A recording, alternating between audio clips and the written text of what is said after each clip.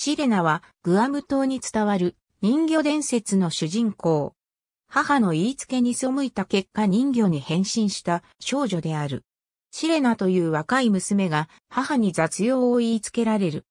はじめは精を出して取り組むが、すぐに冷たい水に飛び込み、それを投げ出してしまった。シレナは雑用を終えることなく、1日は過ぎ去った。母は怒りと欲求不満に任せて、シレナに宣告した。そんなに水が好きなら魚にでもなっておしまい。それを聞いていた名付け親は、せめて下半分だけ、と呪いを軽減した。誕生したばかりの人魚は外洋へ泳ぎ去り、グアムに戻ることはなかった。一見シンプルな人魚の起源端は、スペイン支配の歴史による緊張と、古く、しかし変わりゆく、先住民、チャモロの価値観を豊富に織り込んでいる。シレナというキャラクターは、少女と責任ある大人の岐路に立っている。また、植民地以前の過去とスペインがもたらしたカトリック秩序の未来の間にいると象徴的に表すという議論もある。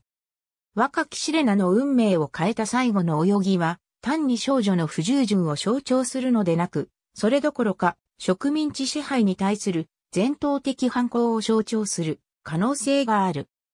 この話の最も初期のバージョンは1668年の宣教師到来に始まるスペイン時代にすでに存在した。シリナが人として最後に泳いだミノンド川があるアガナは最初の植民拠点である。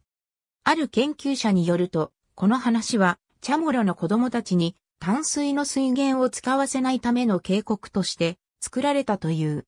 シレナの母は明示的な権威を象徴する。古代、チャモロの文化は母系性に基づく。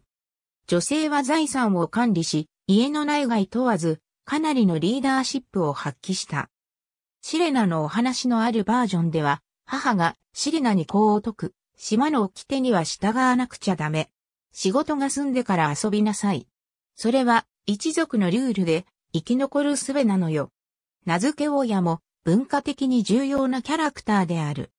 彼女が呪いの見直しを求めると、直ちに効力を発した。